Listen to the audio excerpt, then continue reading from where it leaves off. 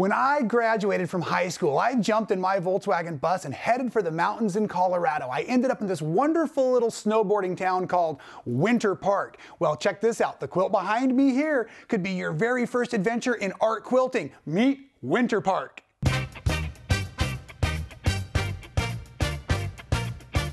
Take a deep breath. The quilt behind me is much easier than it looks. It was so simple to create, but it's so fun and long on the creative process. I can't wait to show you how I've done it. Now, you're gonna need a few things before we get into the supplies. Bounce down into the description. We have a printable for you. These are always free. And I've tried to give you a base layout and shaded version so you can kind of see how I put the background together. And then just a rough layout of my tree. But because we're making our tree as an art quilt, we're doing it on the fly, kind of freestyle, our trees will look different in the next project, right? But that's just kind of an idea of what you're doing. I've got the wonderful concrete texture from Moda that the tree is made from itself, right? And then I've got this wonderful Fusions Blossoms from Robert Kaufman that is a uh, 10 by 10 square pack. And funny enough, it came with 42 pieces. I needed 40 for my 5 by 8 layout behind me. And there was a couple of pieces of fabric in the stack that were kind of multicolor. You'll notice these are not in my layout. So I omitted two, had my perfect 40, and we were ready to build our background quarter inch seam allowances, nice and simple, got it pressed out, and then I was ready to start building the parts for the tree. So let's get right into that. You're gonna need some Heat N Bond Feather Lite. It's a very lightweight, paper-backed, fusible web. Now, when you look at this, if you haven't used it before, there's a shiny side and that's the glue, and there's a paper side, so that's where you can do any kind of tracing and or drawing, or that's where you're gonna put your iron. Watch this. When you're using a large piece of fabric, and I think I've got about a yard and a half here's worth, maybe a yard and a quarter. And you can see I've started to pre-fuse the paper on the back, but we still need to finish this off, okay? So what happens is you want a nice and hot iron. You wanna make sure that your fusible web is not gonna touch your ironing board at all. And you're gonna take that hot iron, and it takes about three seconds or so in each location to bond when you're doing these really big runs on fusible web, you want to go slow enough to really anchor it down. And if you find after you pre-cut some of your pieces out that not the, pa the paper is not completely bonded, you can tack it like I'm doing now. I'm retacking all of this. But because it is such a lightweight glue, which makes it awesome for machine quilting through later on, I don't want to over iron it because we can start to cook the glue a little bit too much. And a lapel stick or some sort of glue stick handy is always a nice option. I just wanted to talk you through this a little bit as I'm getting this pressed down. You can see I'm just giving a nice little extra heating second, fresh out of my suitcase and ready to be introduced to a rotary cutter. Now you can see I'm all but finished with the pressing, the rebonding of my fusible here, but I also want to point out I absolutely love my Panasonic iron here. It's a cordless iron, so I do return it to the base quite often. I want to make sure it's really, really hot. If you're using a corded iron, if you ever see or hear it kind of kick back on, you know that the thermostat is trying to reheat in your iron. That would be another time to return your iron uh, to its uh, base or seed area or whatever and let it recharge and get nice and hot so it is ready to rock and roll. But look at that, perfect. I'm gonna clear out a little bit more space here because we are gonna literally free cut all of these parts and pieces from the tree. Make sure you don't have your fabric folded at all because you want to be able to use each piece. And I'm going to tell you, I experimented and I experimented and I experimented with the design. The first time I cut my fabric, I cut big shapes and put it together, and the tree was roughly this size, but didn't have nearly as much character. The key to working with art quilts is leaving the paper on your fusible web pieces until you're all the way done. As a matter of fact, once we do our design and our layout, I'm gonna let this percolate for a while. So the very last thing we do basically is take the paper off so that we can continually cut and reshape our applique pieces. So it can be as easy as this. I'm going to come down here and first remove my selvage. I don't want that to accidentally end up on any of my pieces because, like I said, we're just gonna completely freestyle this. I'm not using a ruler at all, but I am using my large 45 millimeter cutter for this because I want to be able to make big, clean, long, sharp cuts as needed. I wanted kind of a curve off the bottom in my first cut, so I literally just kind of started coming up and moving my cutter. Let me slide this out of the way a little bit so you can start to see the lines that are forming, right? So my first cuts I made were these big, long running cuts up the fabric. Maybe I want this to kind of be that part of that base. So I did this big chunk, something like this, okay?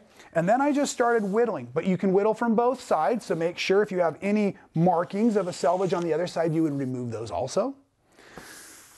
What I found after working and working through this though, the skinnier pieces, I still got the same square footage of the tree, but with a lot more character. So I'm gonna encourage you to work in about a one and a half to three inch size and make skinnier sections like that, okay?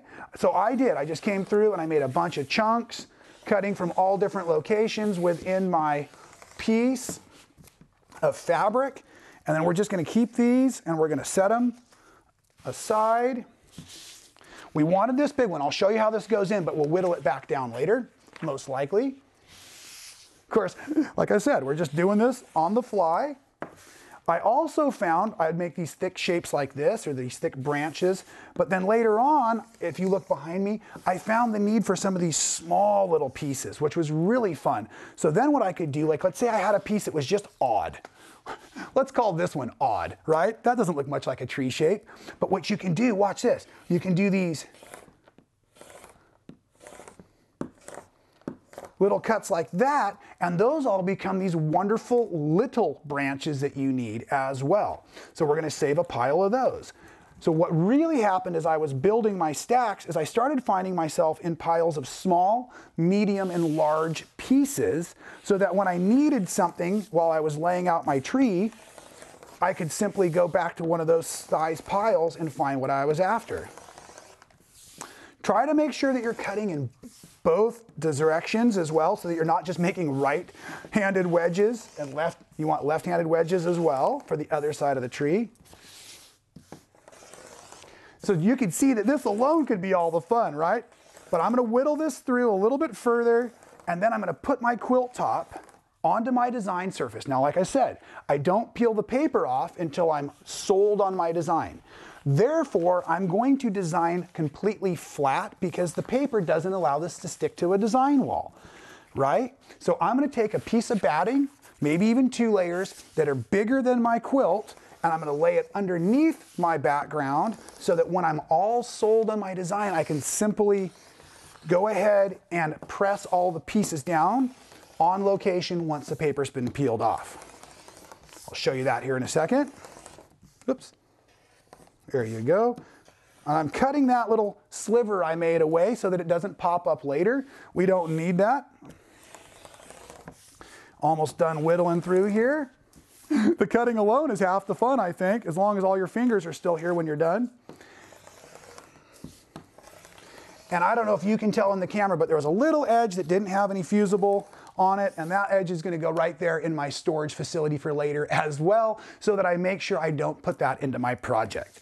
So, I'm gonna slide these out of the way. They're perfectly organized as you can see, and I'm gonna put some batting down. I'll be right back. Welcome back. Check out my new setup here. Look at this. I have my rotary mat and cutter over here so that I can do any trimming necessary. I've added in a very cool padded and batted uh, design board that I like to use, but I'm still working flat. Here you can see the back side of the background. It's the same background you see on the wall behind me of those 10 squares, right? Quarter inch seam allowance, very simple to construct. I am standing down here at the bottom of the quilt. This is where the roots of the quilt start, right? So, as I mentioned earlier, in my very first approach to the quilt, I took these giant pieces like this that would kind of represent the, the base of the tree, the roots, the trunk of the tree coming up, and I started by placing them basically in the middle. As I was trying to explain while cutting like a madman over there that I also like to kind of come in here and put in these skinny pieces and just see what's gonna develop. So I kind of look for some of my flatter edge pieces because I can use those for my fill in. And then I just start working my way up the trunk. I want to go maybe two and a half squares wide and come up several squares before I start my branching. So I just keep looking for these bigger pieces that I've got like this and I can lay them in. Now here you're gonna see that straight edge come across here. So I just wanna point that out. Maybe I'm gonna take it and I'm gonna lay it like this to make some of those straight lines go away. Or if you didn't like that, Again, this will probably be moved or adjusted, but I just want to give you this tip. If you didn't like that straight line and you knew it was going to be a problem, that's when you bring it back over to your cutting area and you just fix it so it's not a straight line anymore. Then you can bring it right back into your project and it won't show up at all. Very easy that way. So I generically and randomly make those big fast cuts. Then I come back in here and I start to build the art quilt and I make adjustments per piece as necessary. You probably saw how nicely that one fit in, didn't you? Okay, so we're coming through here, continually building the trunk of the tree, but I also started wanting to look for some of our branches. So about three or four squares up, I started to build off of my branches, okay? So I start looking for that. And you can most certainly use a couple of strips in the branches as well. That's how you get some of the neat V work in the branches, okay? So my goal for all of us is to use up all of our cool concrete texture fabric here, right, as we go through. But we'll all have different looking trees. We should actually have a cool uh, forest um, gallery or something on man sewing when we're all done. We could all put pictures of our cool trees in there and then we could morph them all together to make one giant forest quilt. Wouldn't that be cool? I'm just gonna bring this down a little bit so I can reach what I'm after. Now let's talk about a piece like this. This piece obviously has some threads I don't care for. Very, very straight. Again, this is gonna be one we're gonna bring over to our cutting area and we're just gonna fix that. So anything that you see when you're playing with your strips that you don't like to begin with, just fix it now. That way you don't have to hunt for it later, right? We're gonna keep building, we're gonna keep building. And of course this goes on for quite a while like this. Let me show you how to do a few of those branches that I like so much. Pretty intricate, right? So here, I'm gonna take a bigger, thicker piece, and I'm gonna bring it over, and I'm gonna look at it, and I'm gonna fit it, and I'm looking at a couple of things. I'm looking at where it meets into the tree, and I'm looking at the angle it's gonna provide, and then remember some of those small little pieces, the pieces we were kind of thinking, what are we gonna need for next? It was these little pieces that I loved so much that I came back in here and I started to add them in to look more like smaller branches as well. One of the things I found in building my layout is at first everything kind of looked very symmetrical, but join me over at the quilt because it was something I had to work for a little bit. One of the tricks I did is I brought this V in down here deeper and then I started to kind of duplicate them. Originally, that was all kind of coming across right here like you saw me doing on my layout table. So once you get all of your pieces in place, you can go back and shift them and shift them and get more character out of your tree. You're looking for lots and lots of these little spots that make it look like a tree would really look like if it was out in the winter and all the leaves had blown off of it, right? So let's pretend fast forward it's tomorrow. You were in love with your design. Of course, I've got more pieces that I'm gonna use up, but let's say you were in love with your design. You've, you've let it marinate overnight. You've taken photographs of it so you see it in the two dimension. You've done everything you can to audition your design and you're in love with it, right? Then all you have to simply do is come back to your pieces, and I did it by starting at the bottom. The biggest piece I possibly could, I would slide out like this, leaving everything else in place. Then you have the fusible web paper still on the back, right? Now this one's a really easy one to show you because this is where I splice the two layers of fusible web. So therefore I can peel the paper off and to make sure you've done it correctly, you'll see the shininess or the glue of the fusible web is now on your fabric back, right? So I'm gonna peel this easy edge off. Then I'm gonna go to this edge. And sometimes it peels wonderful like this one did. But let's say it did not. One of the tricks you can do is you can use a little straight pin from your pin cushion and you can make a scoring line like that all the way across. And that'll often help you take that and fold it. And then as you start to get in here with your fingers or fingernail, then you can see, and you see the sheen that's on there, right? So the glue is right where it belongs. I probably mentioned it earlier. If you find that you start to peel the paper off and the glue is sticking kind of to the paper and kind of your fabric and you're getting these weird blisters and bubbles, you can take that piece back over to the ironing board, make sure that you are protected though, and then you go ahead and you hit that again for a second, let it cool, and the paper will peel off nice and easy. This is why I'm dealing with the big pieces first. So I can get back in here. And it would be probably wise for me to mention at this point, I love to work with either a stiletto or a nice pair of tweezers so that I can come through and I can manipulate as we go.